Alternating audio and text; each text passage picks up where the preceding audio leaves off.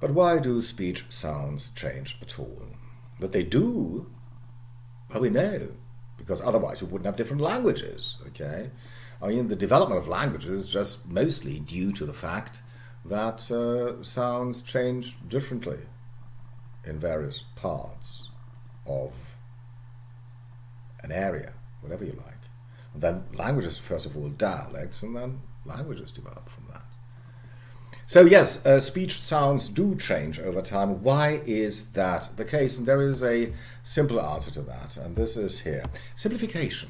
Uh, simplification is the main driving force behind language change. Why is that the case? Because we tend to reduce articulatory effort, which means we, we hate uh, moving our speech organs, predominantly our lips and our tongue. Okay? Um, we regard this as an effort. I mean, moving the tongue back and forth and back and forth, something like that. Yeah? And uh, or up and down, or uh, rounding your lips, or something like this. We don't like it. Okay, so people tend to simplify the effort uh, they take in producing a particular speech sound. Uh, some kinds of simplification um, I would like to mention here. There are many more but just by way of exemplifying that. Yeah? Assimilation is certainly one of them. Assimilation means making two sounds more similar. Well, it's, it's clear. I mean, if uh, uh, two sounds are more similar, you need less movement of your tongue, for example. Okay? So, um, take an example. Oo and E, E, they are a lot more different than E, E, E. Yeah? For A, you don't have to move your tongue much, okay? But for ooey, you have to move it a lot. Uh, here's a, just a simple example, yeah? Uh, take the Latin word impossibilis, which means not possible. Impossible becomes impossible because m and p are pronounced the same, basically. Impossible. Yeah? Impossible, impossible okay, impossible, is easier than impossible. And this would be an assimilation, making the two consonants this time, yeah, n and p, more similar by having a bilabial nasal for the bilabial plosive instead of an alveolar. Okay, two bilabial sounds are very more, more similar, okay, and therefore assimilation. Okay, uh, cluster reduction. This is easy. I mean, if you have consonants clusters, we, we don't like consonant clusters a lot, which means consonants clashing. Yeah, something like this. Okay, German has more consonant clusters than English, for example. Yeah, Strumpf. Oh, what a terrible word. Yeah, so you have str and umpf. Yeah, uh, uh, the English don't like that. Um, Nobody does. Yeah? And you tend to reduce those clusters by just simply cutting off one consonant, for example. Yeah? Take this one here, Old English, yeah? Retan, retan, okay? Well, the first sound, the bilabial, yeah? Semivowel, if you just leave it out and you arrive at retan, right later on. We still spell the W thing, yeah? Okay, we still spell it, but we don't pronounce it anymore. It was pronounced once, but that we don't do it anymore is just it was elided way of this is class cluster reduction. Okay, right becomes right. Okay, easier. Huh? Or take something like Knorwe becomes Norwe. No, huh? you still spell the K. It was pronounced once. Kn. Huh? And today you say no. So cluster reduction. Okay, uh, lenition, making sounds more soft. Yeah, of course, there are sounds which are hard and hard to pronounce, and some sounds which are softer and need less effort. Uh, take this, it's a common example here, lenition. We call this softening. Yeah, pater, okay, it's the Latin or the Indo-European root, it's pater, and it becomes father. What's easier? Pater, where you have to blow up your uh, you blow up your uh, your cheeks and then explode in a bilabial plosive pater. Okay, also father, father, father.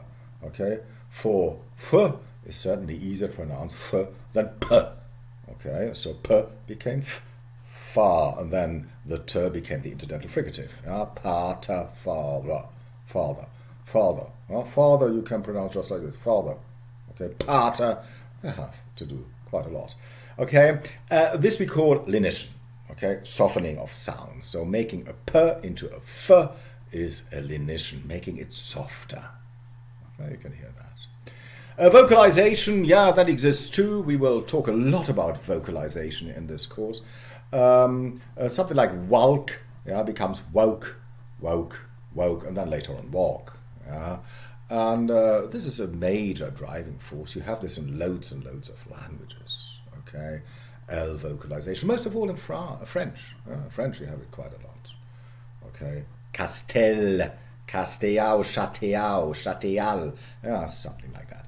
Okay, so yes, a, a few things I just want to say is these are all kinds of simplification which have left their mark on the language or on languages and uh, there are others too. Um, and uh, they are all due to simplification. Okay, simplification, and that's that. Okay, but there must be a counterforce to simplification. All right, there must be a counterforce. Otherwise, I mean, you would simplify and simplify and simplify, and in the end, I mean, everybody would end up saying something like blah blah blah blah blah blah. blah I don't know, something like that. Okay. Still, of course, uh, it's easy to see what the counterforce is. It's intelligibility. Now you have to be understood still. Okay, so you can simplify, uh, but I mean, when you're not understood anymore, okay, um, then um, you have to stop. Okay, although French didn't, in a way, uh, they went on. Okay. Mm. But anyway, um, uh, um, sometimes you want to be better understood, and that's the other thing. Yeah, and this exists too. So the counterforce to, simpl- to simplification would be intelligibility or improving intelligibility, wanting a, a, a, serious wish that you want to be better understood. I mean, look at this. These are a few examples here. Old English, yeah. Hund, Hund, Hund, very short. And it, this turned into Middle English into something like Hund. And there you see, Hund yeah, it's very it's, it's easier to to be listened to, easier to be understood, particularly if you probably talk about great distances. Ooh, yeah, that's the Hund, yeah, something like this. Okay, instead of what's Hund? Oh, then it's gone. Yeah, so you lengthen. Okay, you lengthen at times uh, so to make yourself yeah, more intelligible, if you like, yeah, understandable. No? Uh, various examples. Yeah, you still in German you still have Hund, short. In English you have Hund, and then later on Hound. Okay, long. Yeah? Feld. Yeah? Feld used to be very short. Feld. Okay, that's in German. Feld today. Feld. And then field. It becomes field first of all, and later on field or takan. Yeah? Today tag, take, taken. Takan became taken, lengthened. Okay because takan is so short, you just slips by, just like that. Okay, but um, if you lengthen it, probably you stand a good chance that people will understand you. So yes, there is a counterforce to simplification. It's uh, the keeping up or even the improvement of intelligibility. Okay. Um, once again, uh, this uh, uh, uh I said this before, yeah. So the subject matter of this lecture will be to explain the incongruities of English that still bug us today. Okay, there are a few others, um, but um, uh, a few more, but I will not refer to those. Yeah, and therefore we will do a reverse chronology. Okay, so going back to things which happened relatively recently, and then go back to things that are more remote and more remote as far as time is concerned. Okay. Um, and uh, therefore, I would like to start here.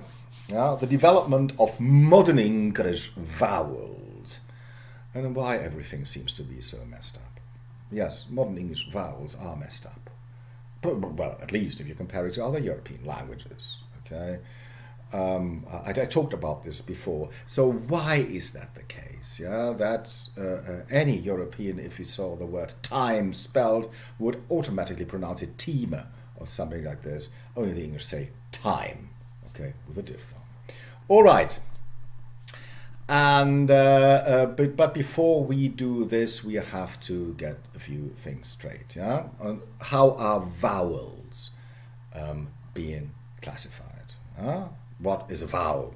Okay, uh, there are two properties um, of a vowel. Two properties a vowel has, and those two properties are very much sufficient for English. Uh, has more properties in other languages. All right, nasal, for example, something like this. No, uh, uh, uh it's a quality and quantity.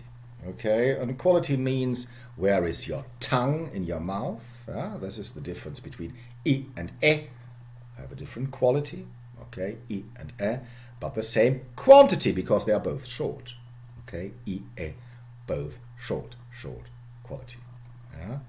Uh, short quantity, sorry, um, but the quality is the same. So quality is just where is your tongue? Is it e, e, a, or e, or uh, tongue is moving here, okay? Or is it long or short? Okay, and this brings us to something which we call the great vowel shift, because in the great vowel shift, uh, everything was messed up, if you like. Uh, um, happened 400 years ago, okay? Um, and uh, this was a development which concerned the long vowels, and therefore we have to talk about quality, okay? Because only the long vowels were affected, and this is the thing which meant made team into time, okay? The great vowel shift, and this is the, if you like, a development which is comparatively recent, only something like three, four hundred years ago, okay? Which was just yesterday, if you like, which is responsible for a lot of uh, strange things. Let's put it like that in English today. Okay, and I would like to come to this great vowel shift uh, in the next installment in detail. Okay.